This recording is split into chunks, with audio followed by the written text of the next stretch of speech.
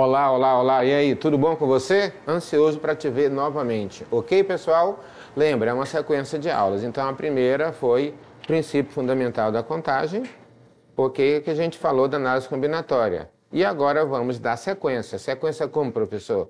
Vamos falar agora de dois tópicos relacionados a isso daí. Já falamos de arranjo, agora é permutação e combinação. É um assunto recorrente, lembrando que ele não cai no Enem, despenca. Você tem que dominar, você tem que ter o controle disso. Certinho? Então, vamos entender? Ó, permutação. A permutação é uma técnica de contagem utilizada para determinar de quantas maneiras existem para ordenar os elementos de um conjunto finito. Fazer uma permuta é realizar uma troca. Lembra, permutação é trocar a ordem dos elementos entre si. E nos problemas de análise combinatória, significa trocar os elementos de lugar. Essas técnicas fazem parte de um campo da matemática chamado análise combinatória, tá? Que se destina a conhecer e contar os diferentes modos de organizar conjuntos e seus elementos. Como assim, professor? Vamos entender a permutação simples. Uma permutação simples é a ordenação dos elementos de um conjunto finito, quando seus elementos não se repetem, são distintos. Ela é utilizada para determinar a quantidade dessas ordenações. Então, eu vou chamar aqui permutação de n elementos, tá? A fórmula que é permutação de n elementos é n fatorial. Falamos de fatorial na aula anterior. Então, se você tem dificuldade, para agora, volta na outra aula para você entender isso aqui. Ok? Considere um conjunto com n elementos. Para organizá-los em uma fila, precisamos escolher o primeiro e para isso temos n possibilidades. Se eu já escolher o primeiro e eu tenho n possibilidades, o segundo já vai ter n menos uma possibilidades. E assim sucessivamente. n fatorial é n vezes n menos 1 vezes n menos 2 até chegar em 3, 2, 1. Falamos isso sobre fatorial. Então, P de n, que é permutação de n elementos, é igual a n fatorial. Exemplo, os diferentes modos de organizar as letras de uma palavra são chamados de anagramas. Quantos anagramas existem na palavra pato? Pato, a gente percebe, tem quatro letras, correto?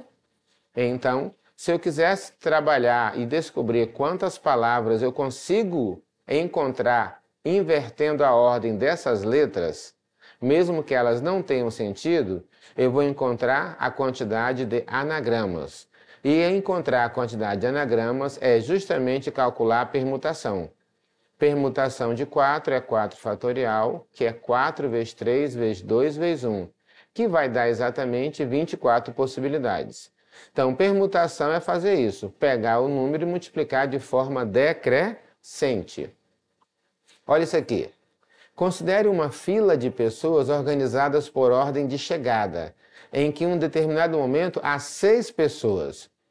De quantas formas diferentes essas pessoas poderiam estar ordenadas do primeiro ao último lugar? Imagina que eu tenho uma fila com quantas pessoas? Seis. De quantas maneiras eu consigo organizar e contar isso? Então, isso aqui, ó, é o número de elementos é igual ao número de posições que elas vão ocupar. Caracteriza permutação. Então, olha só a resposta.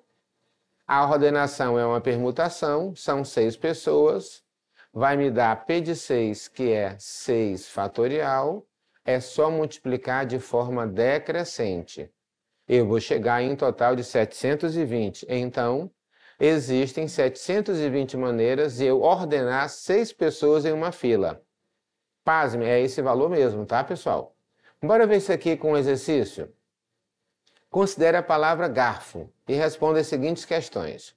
Quantos são os anagramas da palavra garfo? Primeiro verifique que nessa palavra aqui, ó, não tem letras repetidas, tá? Como elas não se repetem, é uma permutação de cinco elementos. Se é uma permutação de cinco elementos, basta pegar P de 5 e multiplicar de forma decrescente. 5 vezes 4 vezes 3 vezes 2 vezes 1, que vai me dar 120. Então, eu vou ter 120 anagramas da palavra garfo. A gente está trabalhando muito a palavra anagrama porque é muito recorrente isso aqui no Enem, beleza? Quando falar em anagrama, lembre-se, você que está assistindo, isso aqui é permutação. Então agora, quantos são os anagramas que começam com a letra A? Preste atenção aqui, ó. A palavra garfo tem cinco letras. Eu quero agora que comece com a letra A. Eu vou fixar o A no início e deixar quatro letras livres. Aqui, ó. Então, fixamos a letra A e permutamos as outras, correto? Que são permutação de quatro elementos. Como é que faz isso, professor? Uma possibilidade para a letra A, fixa, sobra quatro para as demais letras que estão aqui e você permuta entre si. Logo vai me dar 24. Correto? Agora, quantos são os anagramas no caso das vogais estarem sempre uma ao lado da outra? Ó, eu trouxe as consoantes para as letras iniciais e coloquei as letras que são as vogais no final. Elas têm que estar juntas. Então eu vou considerar, já que elas vão estar juntas, como se fosse uma só. Conta aqui comigo. Se isso aqui é uma só, uma, duas, três, 4. Então vai dar P de 4, que é 24. Mas aqui tem um detalhe. As vogais A e O podem estar juntas de duas maneiras. Pode ser A e O ou O e A. Então vai ter permutação aqui ó, de 2 fatorial, que é justamente as duas vogais. Então vai dar P de 2, que é 2 vezes 1, que dá 2. Então, eu vou multiplicar P de 4 vezes P de 2, que vai nos dar 48 anagramas da palavra garfo, em que A e O permanecem juntos. Tá? Permutação com repetição. Uma permutação com repetição é aquela em que a palavra tem letras repetidas. Então, aqui tem uma pequena formulazinha que a gente vai utilizar. Mas como assim, professor? Não estou entendendo.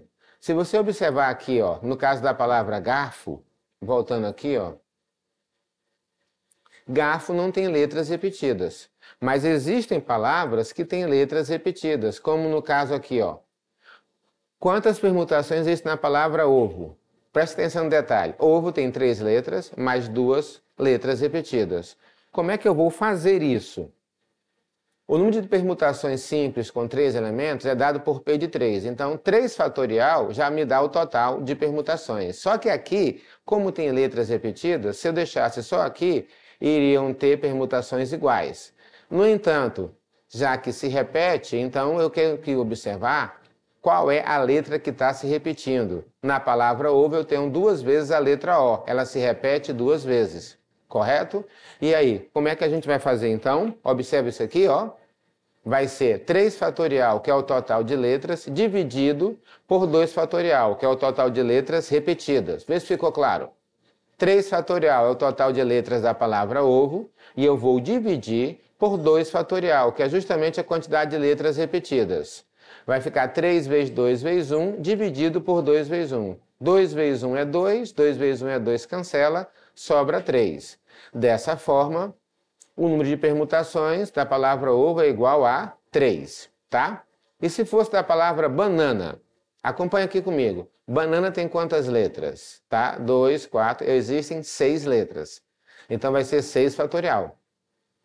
Ok? Aí agora, quantas letras repetidas eu tenho aqui? 3 vezes a letra A e 2 vezes a letra N três vezes a letra A e duas vezes a letra N. Por isso que está aqui embaixo. A quantidade de letras repetidas fica embaixo, tá? E o total de letras fica em cima, tá? Aí é só fazer a divisão que você chega na resposta. Como assim?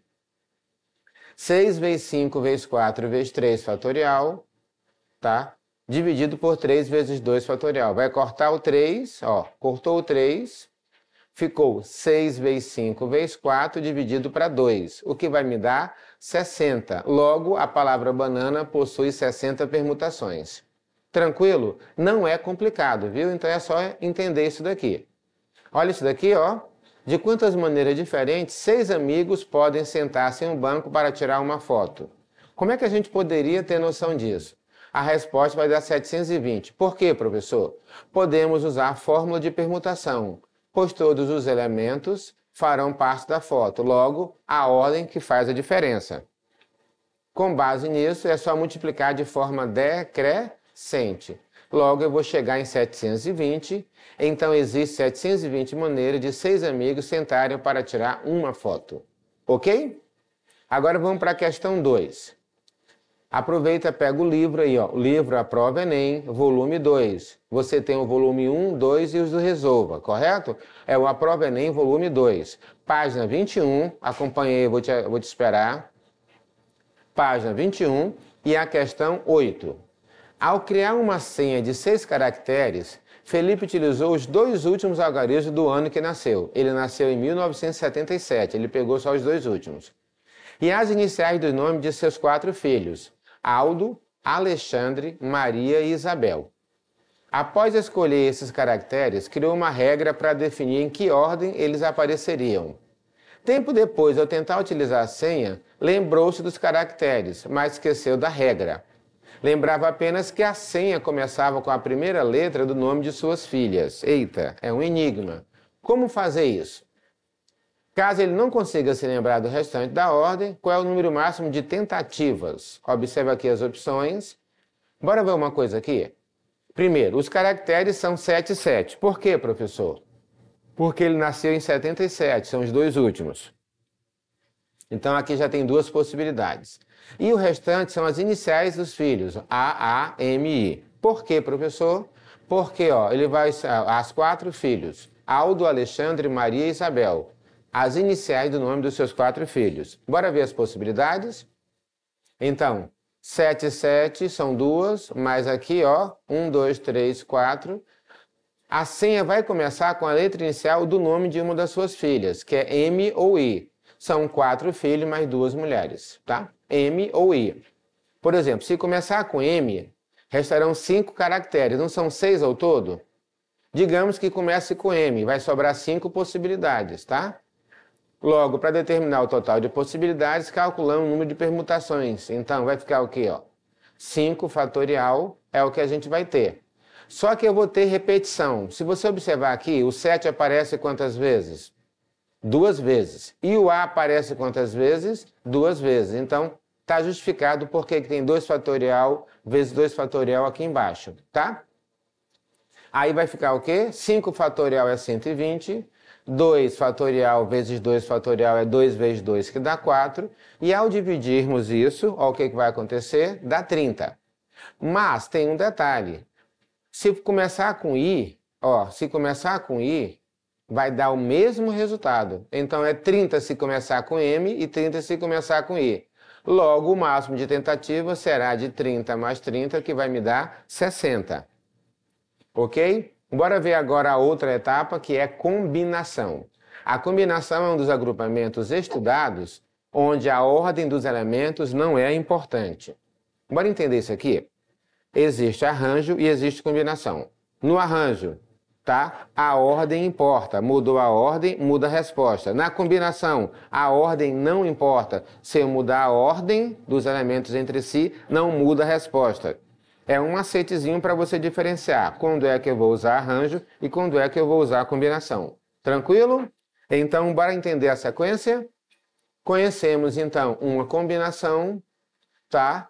Como combinação, a contagem de todos os subconjuntos de K elementos que eu posso tirar de um conjunto de n elementos, tá? Como é que é isso?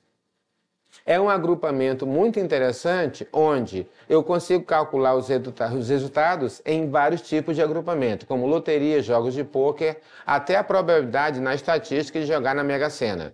Bora entender isso melhor? Lembrando que é, são subconjuntos tirados de um conjunto maior.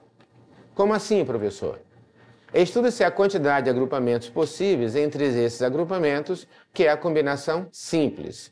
Então, o que, que significa isso? Por exemplo, a Mega Sena, há o sorteio de seis números de forma aleatória. Nesse caso, é possível perceber que a ordem que esses seis números são escolhidos tá, não faz a diferença. Isso aqui confunde muita gente. Como assim, professor? Digamos que você quer jogar na Mega Sena, correto? O teu jogo é caracterizado por seis dezenas, tá? Então, se você inverte a ordem dessas dezenas, o jogo continua o mesmo. Ok? Por isso que isso envolve combinação. Então, com base nisso, como é que a gente vai entender isso? Existe uma fórmula para que você trabalhe, que é C, que é de combinação de N, K a K. Como é que é isso? N fatorial é o total de elementos possíveis e K são as posições que eu vou escolher. Fica n fatorial dividido por k fatorial, que multiplica n menos k fatorial.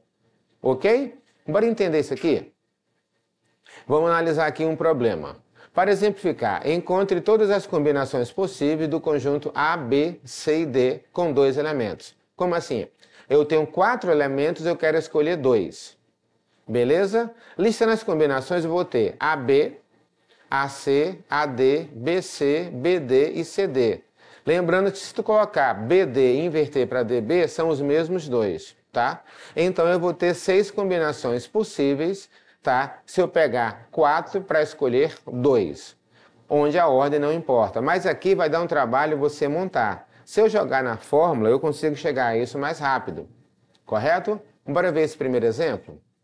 Tá? Uma escola fará um sorteio de três ingressos, um para cada aluno, entre os dez primeiros colocados na Olimpíada de Matemática. Após a realização da prova e conhecendo-se os dez primeiros colocados, calcule as combinações possíveis para o resultado do sorteio. Note que no resultado do sorteio a ordem não é importante, logo estamos tratando de combinação. Agora observa bem, eu vou ter 10 elementos para escolher 3. Por quê? Ó? Observa bem aqui, ó eu tenho os 10 primeiros colocados e sortear 3 ingressos, um para cada aluno. Então, de 10 eu vou escolher 3. 10 fatorial dividido para 3 fatorial, que multiplica 10 menos 3 fatorial. Essa subtração dá 7. Agora eu vou ter que fazer um trabalho aqui. Qual é? Você vai decrescer 10 até chegar igual a 7 para cancelar. Desenvolve o 10 até onde foi possível, desenvolve 3 e divide. Então, olha o que vai acontecer. 10 vezes 9 vezes 8 vezes 7, vai cancelar o 7, sobrou esses 3 multiplicando, desenvolve o 3 fatorial aqui embaixo, em cima a multiplicação deu 720, embaixo deu 6. Logo o resultado é 120. Ok? Eu vou ter 120 maneiras ao todo. Bora ver isso aqui. Pega aí o teu livro novamente. Livro Resolve Enem 1. Resolve Enem é o verdinho, tá? Página 166, questão 6 de análise combinatória. Um determinado campeonato de futebol é composto por 20 times. É disputado no sistema de cada time ponto corridos. Como é que é? No sistema de pontos corridos. Nesse sistema, cada time joga contra todos os demais times em dois turnos, isto é, Cada time joga duas partidas, uma cada os outros times. Joga como se tivesse. Joga no primeiro turno e no segundo turno, beleza? Sendo que cada jogo pode terminar empatado ou haver um vencedor. Ok? Sabendo que nesse campeonato ocorreram 126 empates. O número de jogos que houve ganhador é igual a. Aqui, pessoal, tem uma característica, tá? Observa bem. Cada jogo ou termina empatado ou há um vencedor. Aqui não tem derrota. Legal, né, esse sistema? Embora entender isso, segundo enunciado, o campeonato tem 20 times. Eu tenho quantos turnos? Dois. Teve 126 empates, está dizendo no texto. O resto foi vitória. Para calcular o número de jogos, podemos fazer através do tracinho, onde na primeira casa temos 20 times e na segunda 19. Então, uma vez que o time não pode jogar contra ele mesmo, então, nesse caso, há duas posições. Então, o primeiro e o segundo turno. Eu tenho 20 times, correto, para jogar uma vez e uma outra. Como ele não pode jogar contra ele mesmo, vai ser 20 vezes 19, vai me dar 380 possibilidades ao todo. Mas, o número de jogos será 380. Não é necessário multiplicar por 2 devido ao segundo turno, correto? Agora temos o detalhe: como sabemos o jogo entre o time A e o time B é um jogo apenas, nós temos que entender. Eu tenho 380 jogos ao todo e teve quantos empates? 126. Logo, o total de vitórias vai ser igual a 254. Olha que beleza. Bacana, né?